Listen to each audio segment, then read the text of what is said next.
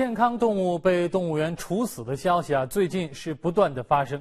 最近，瑞士一家动物园又处死了一头小熊，而判死刑的原因竟然是为了让小熊免遭熊爸爸的攻击，为了不让它疼，就让它去死。这样的逻辑实在是让人想不通。这只可爱的小家伙就是被动物园实施安乐死的四号小熊，只有几个月大。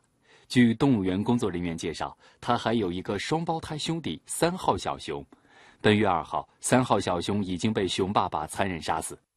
近日，这头重达三百六十公斤的熊爸爸似乎又开始蠢蠢欲动。他欺负四号小熊，把它当做玩具一样玩弄，甚至把它抛入水中。动物园认为熊爸爸的举动会严重伤害四号小熊，于是请兽医给四号小熊实施了安乐死。据了解，在野外，母熊通常为了保护幼熊，会赶走其他雄性，而雄性通常会出于嫉妒，会杀死其他的竞争者，连熊爸爸也不例外。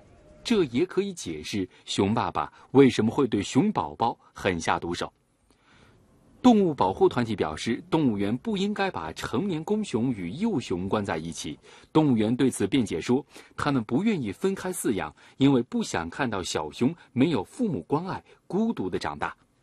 而动物园解决这一问题的方法更是让人难以理解。至于为什么要对小熊实施安乐死，动物园给出的理由是。在冲突无法避免的情况下，他们依据优胜劣汰的原则选择牺牲幼崽，因为大熊的生理发育显然优于四号小熊。